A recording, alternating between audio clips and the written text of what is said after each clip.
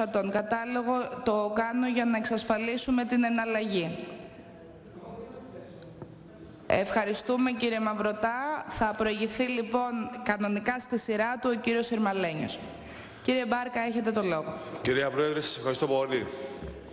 Κυρίες και κύριοι βουλευτές, τι έχουμε πάλι σήμερα εδώ; Ποια αφήγηση ακούμε από τους βουλευτές της αντιπολίτευσης; Μια αφήγηση προηγούμενης γενιάς, το λεγόμενο Brexit. Μόνο που ο ελληνικός λαός με την ψήφο του στις 25 Ιανουαρίου του έκανε έξοδο της συγκυβέρνησης. Την ίδια στιγμή που δηλώσεις αξιωματούχων αλλά και κυβερνώντων και κυβερνήσεων του εξωτερικού αλλά τον κόσμο αποκλείουν αυτήν την περίπτωση. Κυρίες και κύριοι βουλευτές, ένα σκληρό και άδικο καθεστώς πέντε ετών έδωσε τα αρέστα του και μας τελείωσε. Το μνημονιακό καθεστώς που μας έσβησε το χαμόγελο και μας βήθησε στη μιζέρια, μας τελείωσε.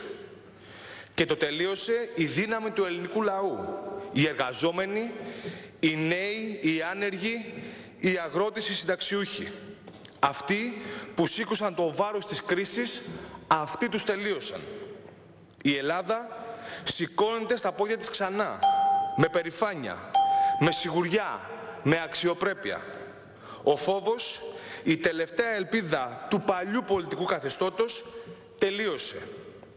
Τόσο μέσα, όσο και έξω από την Ελλάδα. Αυτές τις μέρες όλοι καταλαβαίνουμε ότι η Ευρώπη αλλάζει και η Ελλάδα προχωράει. Στις 25 Ιανουαρίου δεν είχαμε απλά μια νίκη του ΣΥΡΙΖΑ.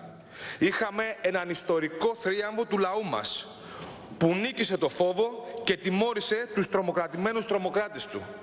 Στις 25 Ιανουαρίου αλλάξαμε εποχή και τώρα προχωράμε όλοι μαζί, ό,τι και αν ψηφίζαμε μέχρι χθες. Όλοι μαζί, γιατί η φτώχεια, η ανεργία, η απόγνωση και τα λουκέτα δεν κάνουν διακρίσεις. Δεν επιθυμούμε να γυρίσουμε στο 2009, γιατί εμείς και το 2009 ήμασταν, ήμασταν απέναντί σας, απέναντι από τις πολιτικές σας.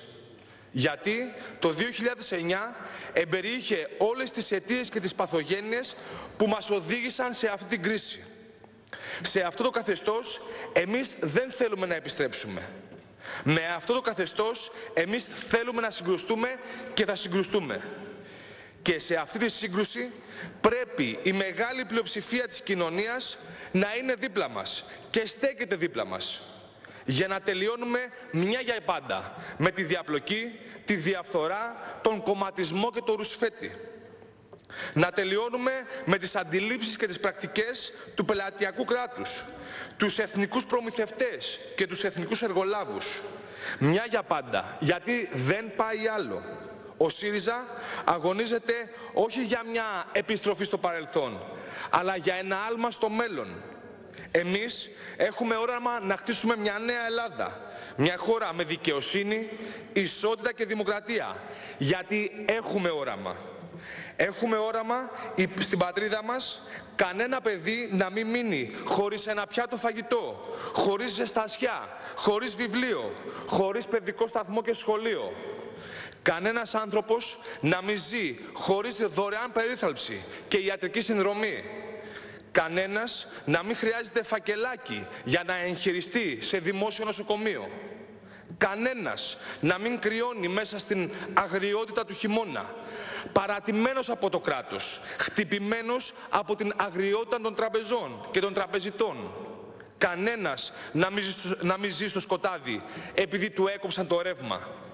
Έχουμε όραμα στην πατρίδα μας κανένας νέος να μην, να μην μένει χωρίς μόρφωση, δουλειά, την προοπτική μιας καλύτερης ζωής.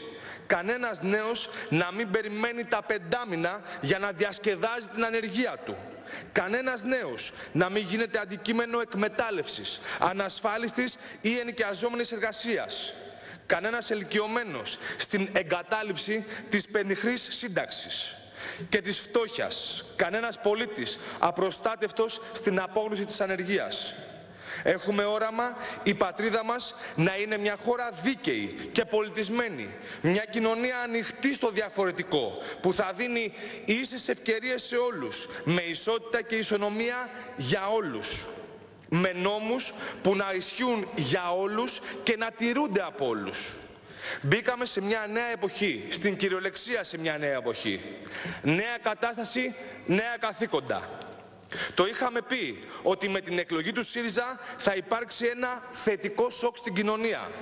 Αλλά η πραγματικότητα είναι πολύ πιο ενθαρρυντική από τις προβλέψεις μας. Ένα καθεστώς πέντε χρόνων έπεσε σε παγόβουνο.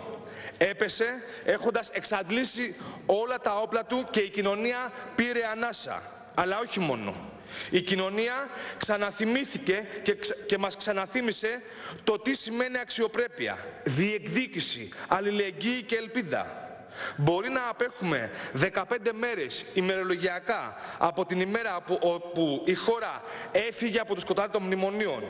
Αλλά σε πολιτικό και ιστορικό χρόνο όλοι νιώθουμε, ελπίζουμε και οι βουλευτές της αντιπολίτευσης, ότι πλέον μπορούμε να αρθρώσουμε ανάστημα. Λέμε να πρωτοτυπήσουμε κυρίες και κύριοι. Ας το καταλάβουν όλοι καλά. Λέμε να κάνουμε αυτά που δεσμευτήκαμε. Για αυτά που μας ψήφισε ο ελληνικός λαός. Να τερματίσουμε τα μνημόνια και να επαναδιαπραγματευτούμε τη Δανειακή Σύμβαση.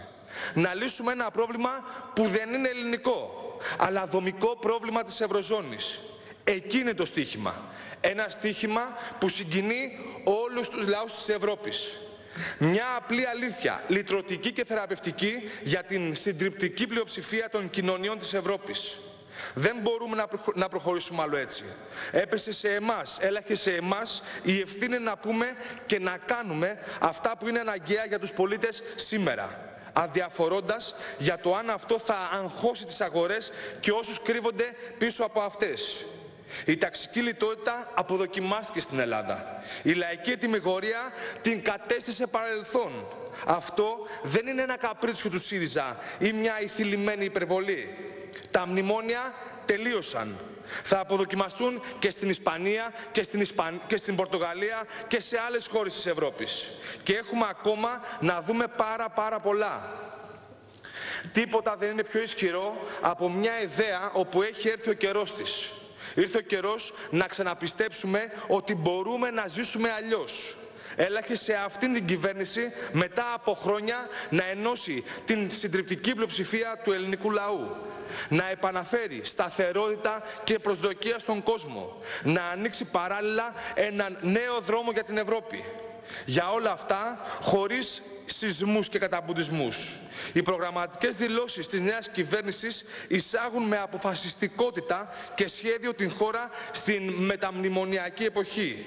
Αλλά δεν φτάνει η νέα κυβέρνηση μόνη της. Χρειάζεται και την κριτική στήριξη του κόσμου, όπου με δημοκρατικό τρόπο πρέπει να ξαναοργανωθεί και να πάρει την χώρα στα χέρια του. Ξεκινώντας από την Τετάρτη σε κάθε πλατεία της χώρας, αλλά και σε όλες τις πρωτεύουσες της Ευρώπης.